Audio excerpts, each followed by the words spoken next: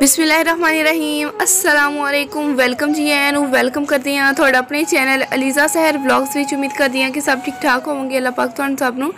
ਠੀਕ ਠਾਕ ਰੱਖੇ ਸਿਹਤ ਤੇ ਤੰਦਰੁਸਤੀ ਤਾ ਫਰਮਾਏ ਆਮੀਨ ਹਾਂਜੀ ਜੀ ਚੈਨਲ ਤੇ ਨਵੇਂ ਆਏ ਹੋ ਤੇ ਚੈਨਲ ਨੂੰ ਸਬਸਕ੍ਰਾਈਬ ਲਾਜ਼ਮੀ ਕਰ ਲਿਓ ਨਾਲ ਘੰਟੀਆਂ ਨੂੰ ਲਾਜ਼ਮੀ ਲਾਜ਼ਮੀ ਪ੍ਰੈਸ ਕਰ ਲਿਓ ਤਾਂ ਕਿ ਅਸੀਂ ਇਦਾਂ ਤੁਹਾਡੇ ਲਈ ਸੋਹਣੇ ਸੋਹਣੇ ਵਲੌਗਸ ਲੈ ਕੇ ਆਉਂਦੇ ਰਹੀਏ ਹੋਰ ਜੀ ਵਲੌਗ ਬਹੁਤ ਹੀ ਮਜ਼ੇਦਾਰ ਹੋਏਗਾ ਐਂਡ ਤੱਕ ਵਾਚ ਕਰਿਓ ਹਾਂਜੀ ਜੀ ਇੱਕ ਹੋਰ ਰਿਕੁਐਸਟ ਹੈ ਕਿ ਵੀਡੀਓ ਨੂੰ ਜ਼ਿਆਦਾ ਤੋਂ ਜ਼ਿਆਦਾ ਸ਼ੇਅਰ ਕਰ ਦਈਓ।